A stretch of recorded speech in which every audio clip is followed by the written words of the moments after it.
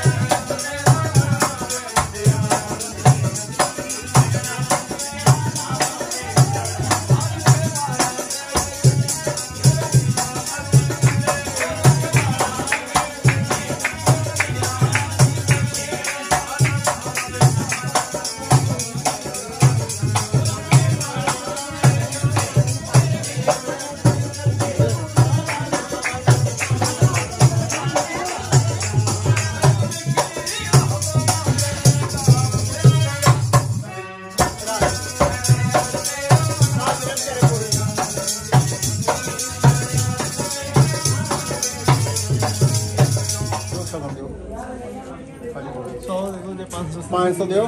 ਸਹੀ ਆ ਸੋ। ਇਹ ਚੂਹੀ ਨਹੀਂ ਆਉਂਦੀ। ਹਾਂ ਵੀ। ਹੁਣ ਕਹਿ ਹਾਰ ਪਾਰ